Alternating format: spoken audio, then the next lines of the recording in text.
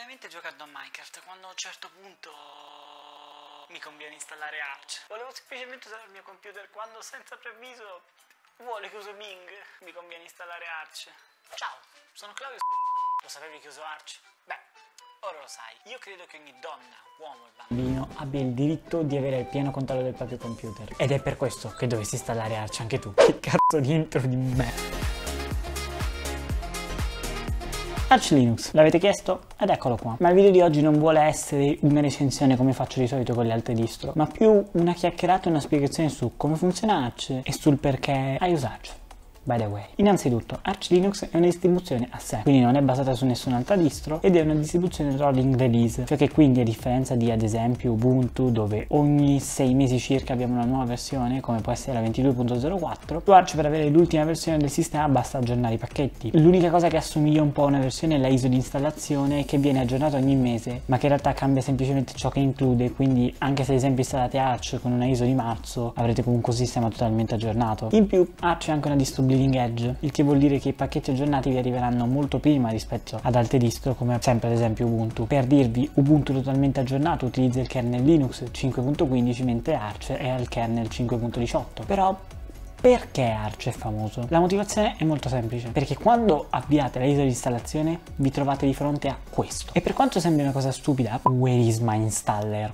In realtà questo è il più grande punto a favore di Arch. Avete un terminale, potete configurare il sistema come volete, potete scegliere il desktop environment che volete, scegliere il bootloader che volete, installare i driver come volete voi e fare tutto a vostro piacimento. Preferite usare un tiling Windows Manager come i 3? Potete farlo tranquillamente, volete magari provare Wayland? Nessun problema. Volete che il vostro bootloader si installi nel posto giusto e non smi bootloader degli altri sistemi operativi? Potete farlo, finalmente. Andiamo quindi a vedere velocemente come si installa.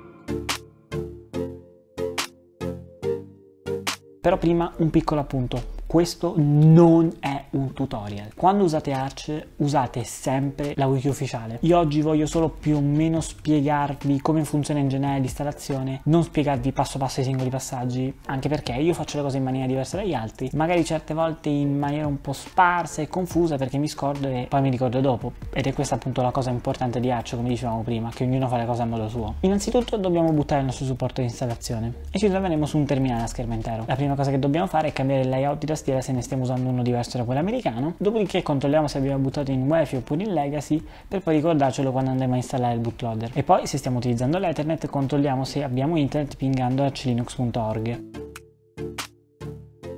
altrimenti possiamo usare l'utility ivctl per collegarci al wifi. Successivamente configuriamo la sincronizzazione dell'orario e poi creiamo le partizioni necessarie per il sistema con fdisk.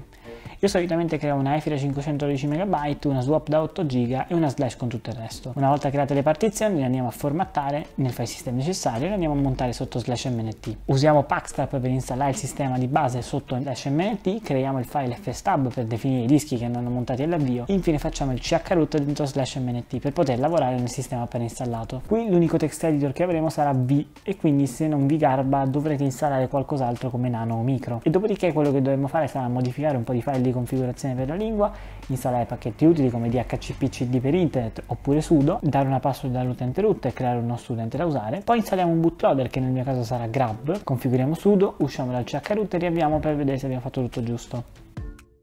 Se riusciamo a buttare nel terminale del sistema appena installato possiamo o usarlo così come dei maniaci o essere delle persone normali e installare un ambiente grafico come Plasma. Abilitiamo i vari servizi necessari con systemctl riavviamo e ora abbiamo sistema usabile in cui non dobbiamo fare altro che installare eventuali app che ci servono e siamo a posto. Possiamo farci quello che vogliamo. Una piccola cosa però, se decidete di installare Arch in una macchina virtuale dentro VMware, sapete che però i driver sono un po' buggati e l'unico modo che ho trovato per farli funzionare è seguire questa guida su Reddit. Qualcuno potrebbe però in realtà sapere che nelle recenti ISO di Arch è presente un installer automatico che si richiama semplicemente scrivendo Arch install. Ed effettivamente è vero, ma per chi vuole installare Arch per la prima volta non lo consiglio. Semplicemente per il fatto che Arch è così modulare che se si dovesse poi rompere qualcosa dovete circa sapere cos'è e come funziona. Chiaramente se volete una distro dove non dovete scrivere cosí tanto ci sono sempre Ubuntu, Fedora, Pop OS, Linux Mint e tutta quella roba là. Il che però non vuol dire assolutamente che Arch install non va usato. Una volta che avete preso familiarità con Arch, avere un tool che vi risparmia tempo tempo nel fare le cose è comunque una cosa incredibile. Dopo aver installato Arch avete sicuramente già fatto un po' di familiarità con la wiki di Arch, che a parere mio, e non solo, è uno dei migliori posti dell'internet. In questa wiki trovate di tutto riguardante Arch, ma in realtà Linux in generale, guide su come usare i vari software, compatibilità hardware, tutto ciò di cui avete bisogno per usare Arch. E quindi vi do un consiglio, se dovete fare qualcosa su Arch, consultate sempre la wiki e non quelle guide sgorbie che trovate su internet, tranne se la wiki per qualche motivo strano non ha la risposta alla vostra domanda. Un'altra cosa con la quale sicuramente avete fatto un po' di familiarità nell'installer è il package manager, Pacman, non quello giallo.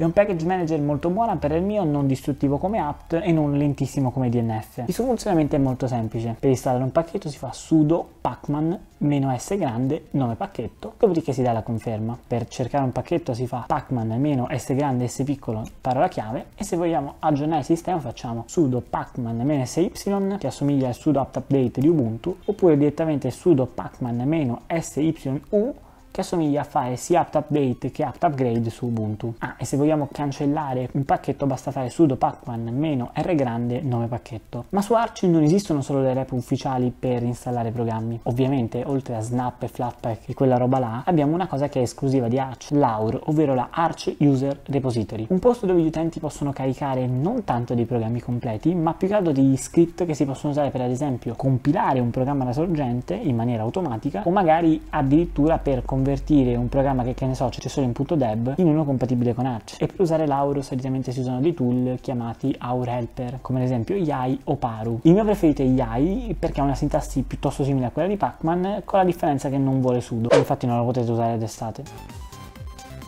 Una cosa importante da capire con l'AUR però è che la sua natura di Arch User Repository vuol dire che bisogna stare attenti a cosa scarichiamo da lì, andando quindi sempre a controllare il file package build per assicurarci che non distruggono il nostro computer. Ma ora andiamo sui problemi di Arch.